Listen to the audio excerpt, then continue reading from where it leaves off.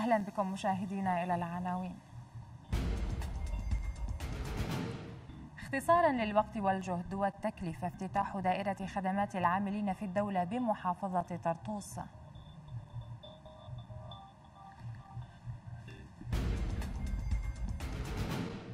ستة أشهر متاحة لاستيراد القطن فما هو رأي الشارع؟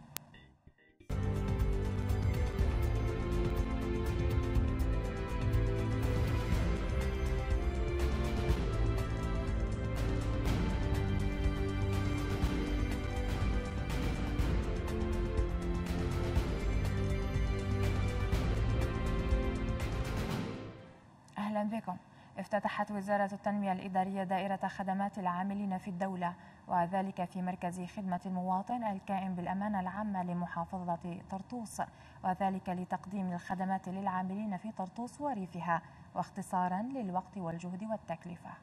في إطار الإصلاح الإداري وتسريع معاملات المواطنين افتتح في مركز خدمة المواطن في محافظة طرطوس دائرة خدمات العاملين في الدولة الذي يقدم مختلف الخدمات المتعلقة بالمعاملات الوظيفية لكل عامل كالنقل والتسريح والتقاعد وغيرها. بعد ما أنجزنا الربط الشبكي في دمشق أصبحنا جاهزين لفتح كافة الخدمات وتقديمها بأي مركز خدمة أو نافذة واحدة واللي المشروع اللي اتفقنا عليه أنا والسيد المحافظ اليوم هو الانتقال إلى الأرياف إلى كافة مراكز الخدمة في دريكيش صافيتا وكل أرياف المحيطة بطرطوس لحتى نقدر نحن اليوم نلبي هالخدمة ونقدمها. أي حركة وظيفية؟ آه، نقل ندب إعارة تسريح صحي نهاية خدمة آه هذه الأمور آه تقدمها يقدمها المركز آه يوفر عناء السفر إلى دمشق وكذلك التعب والمجهود والمصروف. افتتاح دائرة خدمات العاملين عكس ارتياحا شعبيا لدى هذه الفئة نتيجة لما يحققه من توفير للوقت والمال وألغاء السفر للعاصمة دمشق. لمتابعة الأوراق الخاصة بهم لتصبح هذه الخدمات كاملة تقدم في مركز خدمة المواطن. كمواطن كنت آكل الهم أني أروح على الشام لأنه ما بعرف شيء بالشام كنت فعلا آكل الهم. بس لما قالوا لنا أنه صار في مركز هون ارتحنا جدا جدا. بالنسبة للمركز بيوفر عليك آه، كثير من الجهد والتعب والمصروف والوقت. يعني أول شيء بعض الأوراق هذه اللي نحن من نقوم بعملها كان متطلبه نطلع منها على محافظات ثانية مثلا مثل الشام. حقيقه نقطة إيجابية. وفر جهد وفر مادي وفر عناء المواطنين. الطرطوس لازم يطلعوا على الشام يرجعوا. يعني أحيانا بيكون في أخطاء الورقة. بدك ترجع مرتين ثلاثة. وعود كثيرة وعمل جاد لتطبيق الإصلاح الإداري وتوسيع الخدمات المقدمة للأخوة المواطنين في مراكز خدمة المواطن على امتداد أراضي الجمهورية العربية السورية. من طرطوس لقناة سما علي الكنج. تحولت سوريا من بلد منتج ومصدر في آن معا للقطن قبل عام 2011 إلى بلد يتجه لاستيراد المادة لاستمرار مصانعه بالعمل حيث تم السماح للقطاع العام والصناعيين فقط باستيراد مادة القطن المحلوج والخيوط القطنية وفق طاقتهم الإنتاجية الفعلية ولمدة ستة أشهر أي حتى نهاية هذا العام. يكاد يكون قرار استيراد القطن القرار الأخير للجنة الاقتصادية بتشكيلتها الحالية وحيث أن القرار صدر في بداية حصاد الموسم الزراعي الصيفي فهو ينعكس عن توقعات إنتاج القطن والكمية المنتجة بالشكل المنطقي. مع تراجع نوعية القطن المحلوج في السنوات الأخيرة يطالب عدد من تجار النسيج وبعض الصناعيين بفتح باب استيراد الخيوط القطنية لتعزيز قدرة إنتاج قطاع النسيج في البلاد بشكل عام. بالنسبة لخيط القطن نحن خيط القطن السوري لا يعلى عليه. بس بيكون تحضيره ممتاز بيضاهي التركي وبيضاهي آه الأجنبي يعني. بس يكون تحضيره ممتاز. وعندنا هون شركات تحضير بتجنن.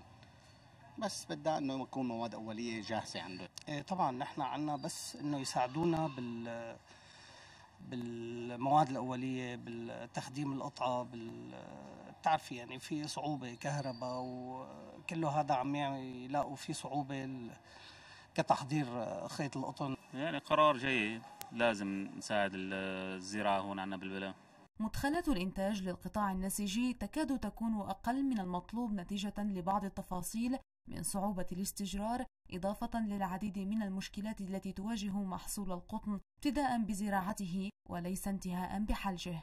ولكن عند تخيير التجار المختصين ما بين تخصيص الدعم لزراعة القطن وحلجه أو دعم استيراده يكون الجواب وطنيا بحق بغض النظر عن لعبة السوق. فهم أدرى بسنوات الدعم الزراعي وما نتج عنها من ازدهار للصناعات المرتبطة. لا والله نزرع نحن عنا هون أحسن أحسن ما نستورد. الزراعة عنا أفضل. نحن بلد منتجة هون يعني. هلا أكيد رح. هالشيء هذا رح يسبب بزيادة أسعارنا. ونحن عنا نحن أهل زراعة القطن. ليش لحتى نستورد من برا؟ ونحن بننتج القطن أحسن ما نستورد. طبعا أحسن لبلدنا. الاستيراد غالي وبوليستر أكثر يعني مو قطن 100% انفعل زراعته بالبلد. أحسن نعم. استيراد قطن لا لا ما رح يكون صح لا لأنه الاستيراد عم يجي بتكلفة عالية على البلد. فالمفروض يكون إنتاج من عندنا طبعا تكلفته أخف. بيصير على المواطن أخف. بس إحنا كمان يعني المفروض يعني حكومتنا آه، تدعم الزراعة شوية. يعني الزراعة بدها مازوت. المازوت غالي عم المفروض إحنا ندعم ونساعد الفلاحين. لا يستطيع المواطن المستطلع للأسعار فهم المعادلة الصعبة التي تبدأ من نقاشات حول دعم الزراعات الصناعية وتنتهي في أروقة مجلس الوزراء لتعلن عنها اللجنة الاقتصادية. لكنه يعرف أن الحكومات المتتالية والمؤتمنة على زرع البلاد وحصدها تحتاج لمعاينة الموارد واجتراح أفضل الحلول لصيانة المقدرات واستغلالها. وبين هذا وذاك لا يزال المختصون بانتظار التعليمات التنفيذية لقرار استيراد الخيوط القطنية كضابط للقرار الذي يعد قرارا نابعا عن ضغوط الأسواق الحالية.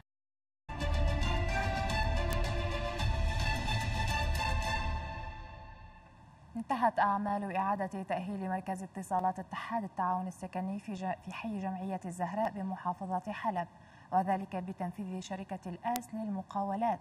وذلك بقيمة إجمالية قدرت بنحو 380 مليون ليرة وسعة 15 ألف خط هاتفي.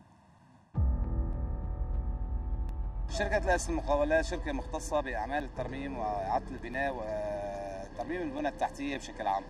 سعيا نحو إعادة إعمار كل ما دمره الإرهاب وإعادة مرافق الحياة إلى ما كانت عليه. أنهت الشركة السورية للاتصالات بحلب أعمال تأهيل مركز اتصالات اتحاد التعاون السكني بحي جمعية الزهراء غرب حلب والذي يخدم الجمعيات السكنية الواقعة غرب المدينة وجزءا من منطقة الليرمون الصناعية وصالتها بسعة 15 ألف رقم منها 9000 رقم بالخدمة يحتوي على 6000 بوابة إنترنت منها 4500 بوابة قيد العمل. باشرنا العمل بإعادة تأهيل المركز ب 5 1 2021 مدة العمل 180 يوم. مثل ما نكون شايفين حضراتكم العمل يعني على وشك الانتهاء نسبة الخراب كانت تقارب شيء 80 ل 85% نسبة كبيرة مع العلم إنه المركز بقي في الخدمة. وكان يقدم الخدمة آه، الهاتفية. والإنترنت لل- للسكان ال- ال- الذين ظلوا في بيوتهم. بلشنا بترميم المركز. أول شيء بلشنا بترميم الجملة الإنشائية للمركز. ركبنا حجر جديد بلاط جديد جلينا حجر زفتنا الساحة ركبنا الحديد آه، الألمينو ج- الحديد الخشب. طبعا كان المركز مدمر كثير نتيجة القذائف الإرهابية. آه، هلأ نحن حاليا في التشطيبات النهائية للمشروع. يعني يومين بكون مشروعنا إن شاء الله والمركز خالص. شركة الآس للمقاولات الشركة المنفذة للمشروع عملت على مدار الساعة وأنهت المشروع في مدة زمنية قياسية من أجل إعادة الألق إلى هذا المركز ليصبح أفضل مما كان بحيث شملت أعمال الترميم تدعيم الجملة الإنشائية للمركز وتركيب الحجر والبلاط والرخام والأبواب الخشبية والألمنيوم. اشتغلنا لمدة تنفيذ 180 يوم قيمة العقدية 382 مليون. تم تكثيف الورشات بشكل كبير جدا لتلافي وإعادة الوضع كما كان قبل فترة العقد هلا بشكل عام مشاريعنا كثيرة والشركة مختصة ب... ب... بس- بالسرعة بالتنفيذ. يعني مثل مش...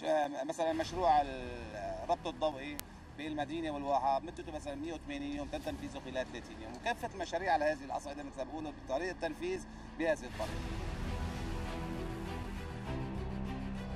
هذا وقد نفذ المشروع الذي سيرى النور في الأيام القليلة القادمة.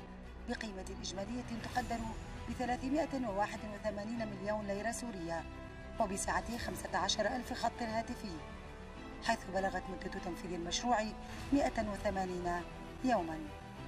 قناة سما الفضائية كنان علوش حلب الشهباء.